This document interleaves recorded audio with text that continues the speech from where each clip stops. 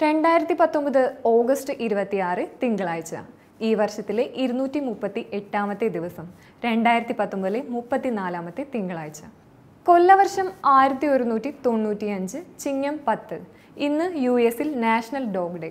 ആയിരത്തി തൊള്ളായിരത്തി അൻപത്തഞ്ചിൽ ഇതേ ദിവസമാണ് ടെന്നീസ് മാച്ചിന്റെ ആദ്യത്തെ കളർ ടി വി സംരക്ഷണം ആരംഭിക്കുന്നത്. ഇന്ന് മേനക ഗാന്ധിയുടെ ജന്മദിനമാണ്.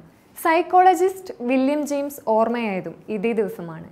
ഇനി ഈ വർഷത്തിൽ നൂറ്റി ദിവസങ്ങൾ കൂടി. എല്ലാവർക്കും ശുഭദിനം നേരുന്നു.